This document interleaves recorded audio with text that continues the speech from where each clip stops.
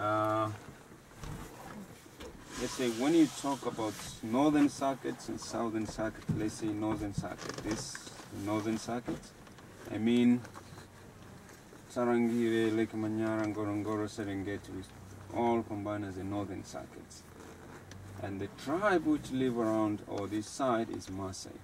You know, there's Maasai tribe living even inside the Serengeti before Serengeti became a national park. And when they are doing a research and found that uh, it's not really to leave these people in here, they push them toward Ngorongoro. And later they found that Ngorongoro is very important also. How can we do now? Because we already pushed all the people there.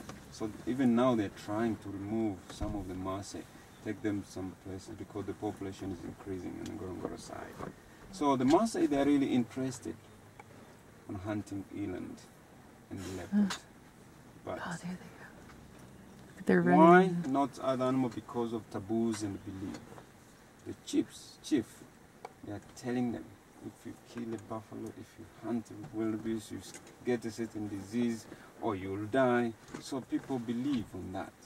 They didn't actually interested in hunting the wild animal, but they they hmm. compare eland like a cow because they